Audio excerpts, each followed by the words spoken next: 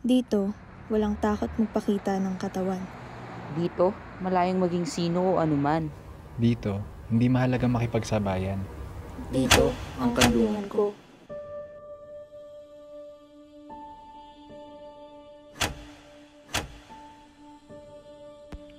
Malandi. Ang lamig-lamig, naka-shorts. Attention seeker.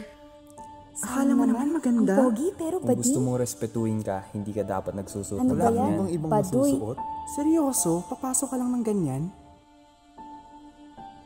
May mga bagay na sadyang hindi naiintindihan ng iba.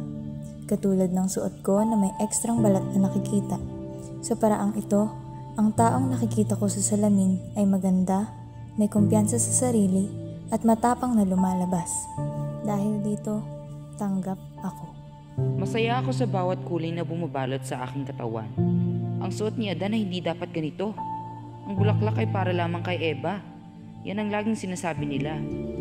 Ngunit naniniwala akong pagmamahal ay para sa lahat. At sa tingin ko, sa pananamit, ganun rin dapat. Buti na lang dito, tanggap ako. Wala talaga akong problema sa sinusuot ko. Hindi man ganito ang karamihan, ayos lang. Dito ako komportable eh. Dito, wala namang pumapansin. Kahit ano man ang suotin ko, tanggap ako.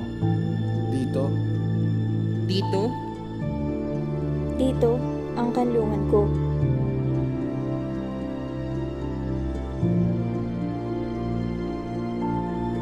Ngunit sa aking paglabas, sana'y wala nang mali siya. sana'y wala nang panghuhusga. Sana'y hindi na ako tratuhin iba. Sana namulat na rin ang mga mata upang ang liwanag ng bawat isa ay siyang makita.